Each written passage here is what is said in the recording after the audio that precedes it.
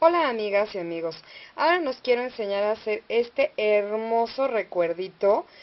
Este a mí me encanta, miren, puede servir como para recuerditos de algún evento que tengas. O también, la verdad, yo para lo que los voy a ocupar es para regalos del 14 de febrero. Se viene el Día del Amor y la Amistad y tengo muchas amigas que tejen y tejen maravilloso. María del Rosario es para ti. ok, y tengo muchas otras amigas que también tejen y bordan hermoso, como Leti, que me regaló un cojín divino, que de hecho si están, si están conmigo en el Face ya vieron qué preciosura. Bueno, entonces para el Día del Amor y la Amistad, qué mejor que regalarle a todas tus amigas, independientemente de lo que les regales, un detallito así de, de lo que ellas acostumbran a hacer o de lo que les encanta hacer en miniatura. Bueno, como a mí me fascinan las miniaturas, la verdad, para mí es un, un detallazo, ¿no?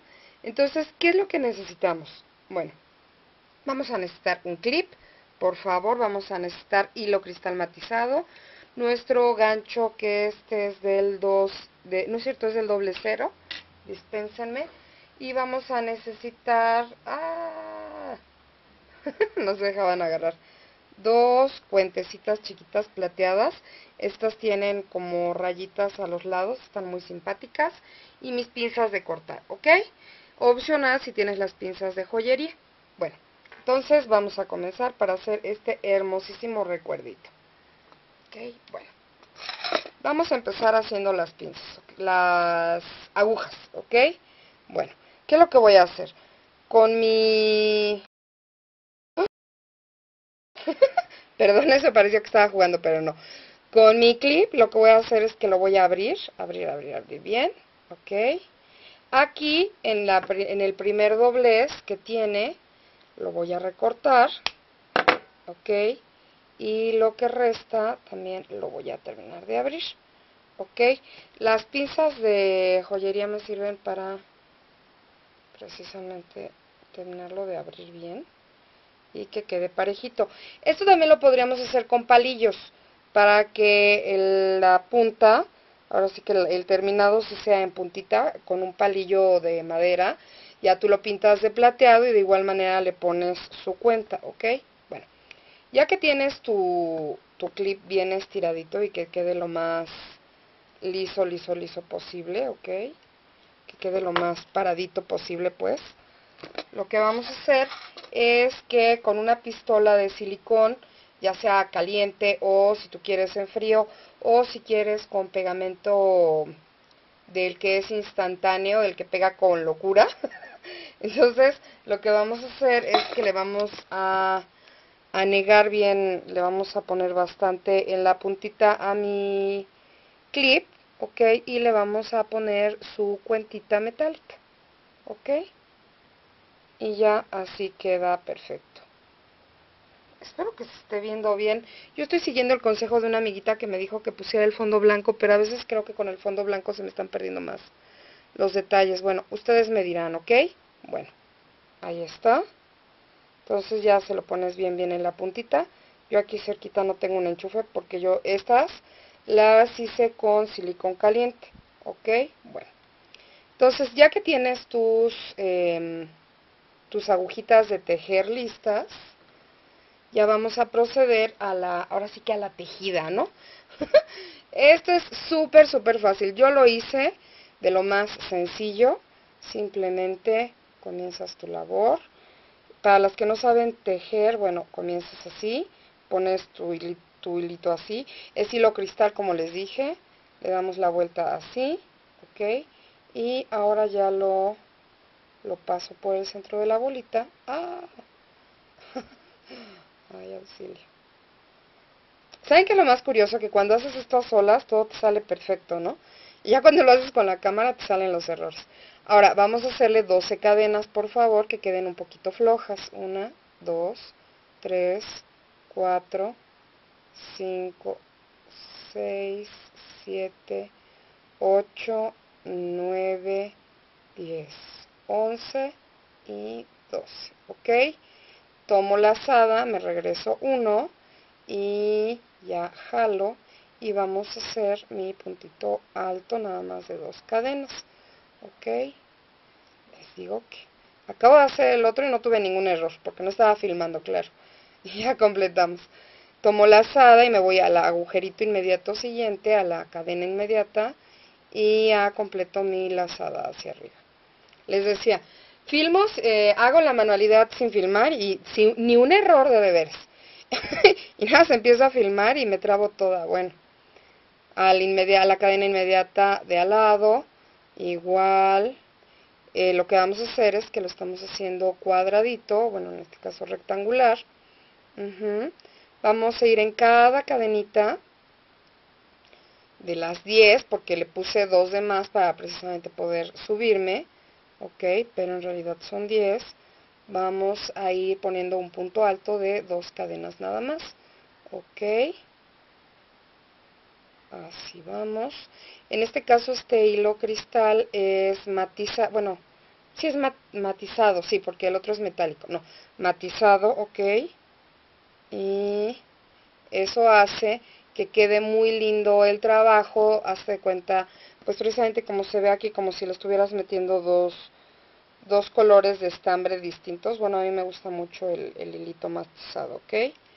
Entonces así nos vamos a ir por favor por todo mi mi, mi, mi, mi, mi, mi hilo, pues mi, mi estambre, Ajá. En este no te recomiendo que ocupes estambre grueso porque desluciría mucho, se vería muy tosco. También si se fijan, por eso estoy ocupando también gancho del, más delgadito. Usualmente ustedes me han visto, para las otras manualidades yo ocupo ganchos gruesos del, del 6 y del no sé qué tanto. Bueno, ustedes han visto mis videos, ahorita yo ni me acuerdo. Pero este sí luce mucho más eh, con un un tejido así sencillo, digo, y delgadito pues para que luzca, ¿no? Si tú quieres, aquí ya terminé mi, mi, mi primer vuelta, ok, voy a poner dos cadenitas hacia arriba, le damos vuelta, tomo la lazada y en la cadena inmediata, de un ladito, igual le hago. ¿ok? Si tú quieres hacerlo todavía más cookies y meterle alguna puntada exótica, pues estaría bien nada más que, insisto, como esto es una miniatura, la verdad es de que mientras más em, de calidad quede, pero no con demasiados detalles que sean, eh, uno, difíciles y dos, em, que ni luzcan, que ni se vayan a notar, miren aquí, por estar hablando, Ay, de veras. Ya. Les decía, como es algo muy chiquito, también si le metes una puntada como muy rebuscada, ni se va a lucir, la verdad. Mientras más sencillo, queda más bonito. Bueno, a mi parecer. Por eso precisamente le metí un, hilo cristal o un estambre súper delgadito de, que da distintos tonos para que ahí ya esté el detalle. Ahora sí que el detalle chato. ¿Ok? Bueno, así nos vamos a seguir hasta a completar, en este caso, fueron una, dos, tres, cuatro vueltas, ¿ok? Déjenme a completo las cuatro vueltas para enseñarles cómo vamos a hacer nuestra bolita de estambre que queda colgando, ¿ok? permítanme a que termine de tejerle las dos vueltas que faltan y ahorita las veo. Ok amigas, ya terminé mis cuatro vueltecitas. Ok, ahora qué es lo que voy a hacer. Voy a cortar el estambre, pero con unos 30 centímetros de largo, por favor. Que nos quede así mucho, mucho, mucho, mucho estambre, mucho, mucho hilo, pues cristal o estambre súper delgadito, sobrante, ¿ok? Bueno, ahora ¿qué es lo que voy a hacer? Voy a terminar mi trabajo como siempre los terminamos, que es, haces una cadena y lo jalas y ya aprietas, ¿ok? Lo voy a asegurar con otra puntada, ¿ok? Perdónenme si no se vio, ahí está, ahí está, ah. ok, y por en medio le paso el hilito como un nudito pues ok listo ahí ya tengo asegurada mi parte de arriba. Ahora la parte de abajo le aprieto bien el puntito de inicio. Voy a, asegurarlo. Listo. Otra puntadita.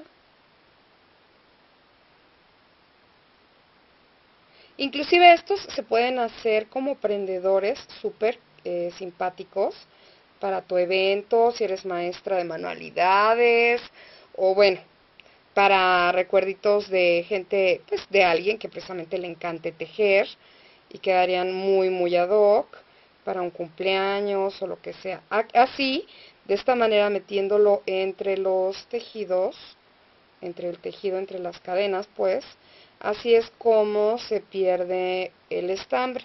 Esto ya se los había enseñado en otro video, pero por si no lo sabían, así es. ¿Ok? Miren. Entonces queda totalmente perfecto mi final de mi trabajo. Ok, ahora, ¿qué voy a hacer con todo este hilo que le dejé a un lado para poderlo convertir en esta madejita hermosa de estambre?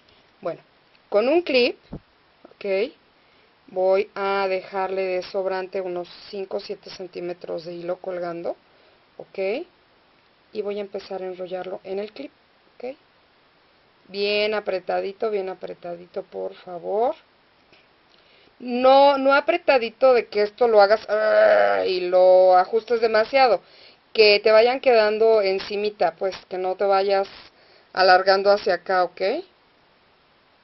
Para que quede bien la madejita.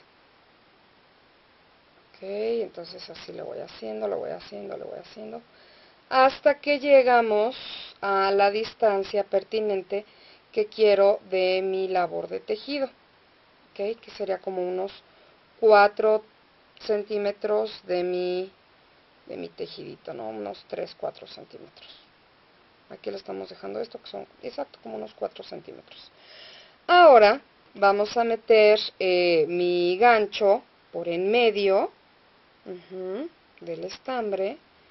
El hilo que dejé colgando lo voy a agarrar con el gancho y lo voy a pasar por el centro de todo mi estambrito que aseguré en mi clip ok y lo voy a asegurar ok y aquí le hago su nudo ok y ahí ya quedó mi madeja.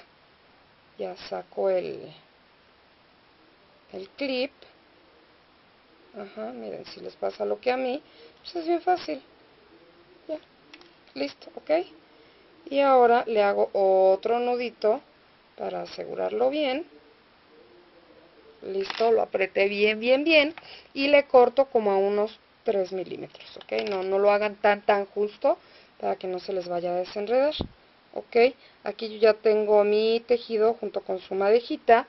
Y ahora, con mi aguja, eh, ya previamente, ya se la aseguré con el, con el silicón caliente, como les había dicho, voy a ir agarrando los, eh, las cadenas, pero nada más la parte de enfrente, ¿ok?